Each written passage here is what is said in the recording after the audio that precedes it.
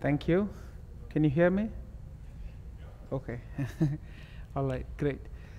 So, like um, our awesome room manager mentioned, I'm a neuroscientist trying to bridge the uh, gap between clinical computer science. By that, I mean trying to enable multiple di- diverse stakeholders within the research community to be able to use it and help solve big problems in neuroscience, right? And in this context, I've um, gone through several iterations of uh, various software trying to solve our problems and then landed on Python three years ago and I never looked back. I'm going to just try to um, give you a glimpse of why I, um, it is so good for our applications. As you know, Python is popular. I don't have to tell you guys, you're here.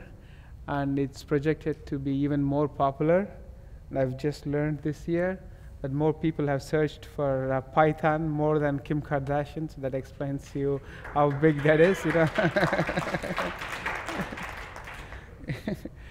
so, and you can see the data. I'm not just making it up, okay? So it's pretty popular. So before I tell you why it's ideal for research software, I want to tell you a little bit about what is research software and how is it different from regular software. And the biggest difference, basically, uh, in all the important technical aspects, it's no different. It's just software at the end of the day. But the biggest difference is who is involved in making this software and using it. And most of them, like, uh, basically are never formally trained, neither experienced. They just pick up something from Stack Overflow or online courses, and then they just use it until it works and keep going. Right? That's the biggest difference. In uh, to put it in simple terms.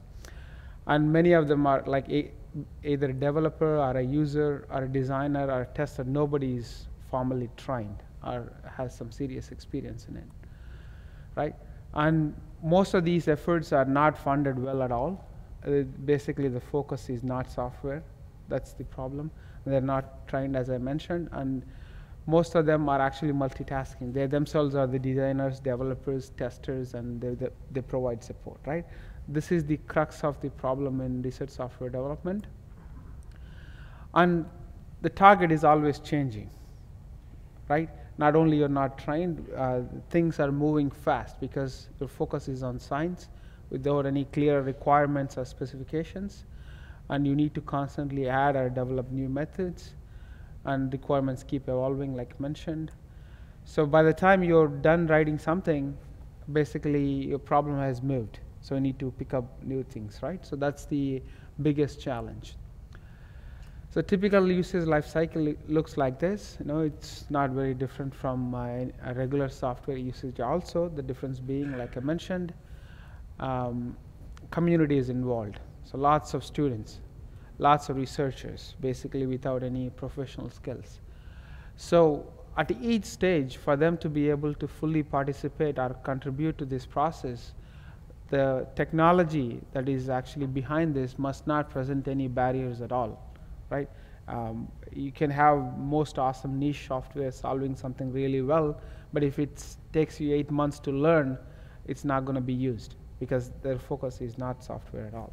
They just need to quickly learn it, test it, implement it, and get their problem done and move on. Right? So, yeah, basically the software is not the focus, it's just a means and an end.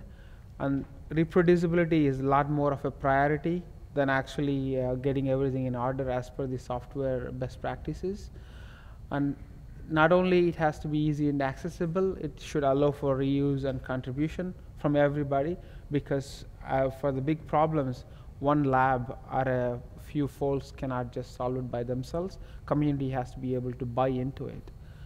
So uh, not only uh, it should just focus is not just technical does it run, but also does it produce the right thing, which is actually a much bigger of a challenge than just unit testing it.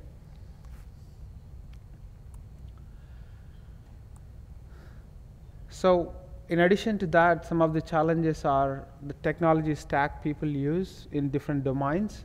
Uh, it's heavily fragmented.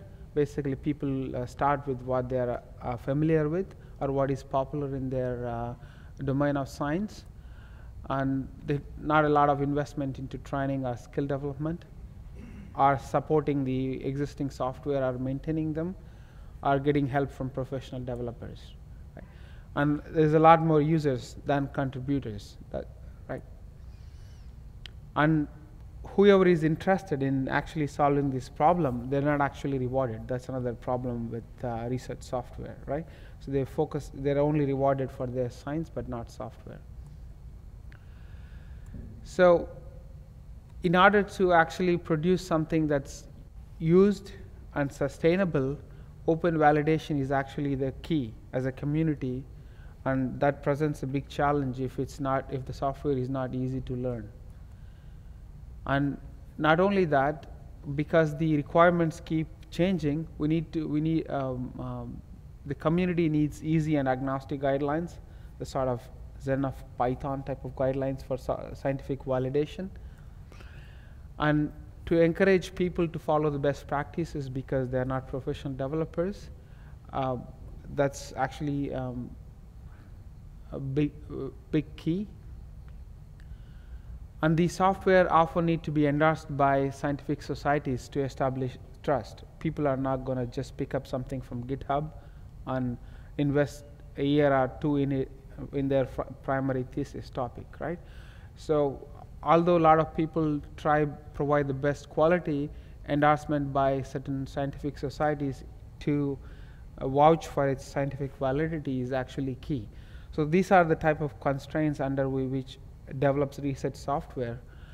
And basically, given the, in this context, what are the ideal qualities for the technology that you can build your research software on? And the first one is it must be easily deliverable. It should not require, um, uh, it, it should not cost money or take a day to install. It must be easy. It must be easy to learn also and it allows everybody in the process to contribute, not just the professional uh, skill developers, but also students who have just joined the lab as an intern. And uh, basically, it must do a diverse array of tasks already because science requires so many things, including basic computing, statistics, machine learning, visualization, web accessibility, etc it covers a vast range of aspe uh, uh, aspects, and the technology you use to build research software must be able to serve all these purposes. And it must be easily portable. By portable, I mean you not only you need to be able to simply write a little script to get implement a quick algorithm, you need to be able to uh, morph it into a fully batch processing pipeline, as well as a fully object-oriented API to make it a foundation for other people. So this kind of portability is actually key for it to be used and sustained in the community. And it must be open source because there is not enough money for proprietary software. So with all these desirable requirements as, um, for technology to build research software, I'm going to give you a few reasons why Python is ideal now. Biggest selling point for Python is its highly, highly readable. You look at it, you know what's going on, you don't have to spend too much time. Uh, that means very low barriers to learn and collaborate. You can quickly prototype uh, from a small script to a full uh, grown app, interactively experiment with the data, and you can easily grow it into a big project because it's object oriented, and you can easily package and distribute, and you can interoperate with other languages pretty easily to improve speed and also to build pipelines. And not just that, it's fully loaded for developers who want to do bigger things, uh, dig deeper. And it's highly accessible for users at the same time. And best practices are baked in by design. And there's an excellent community around uh, all these topics. And they, everybody loves open source, and especially in its support for open science.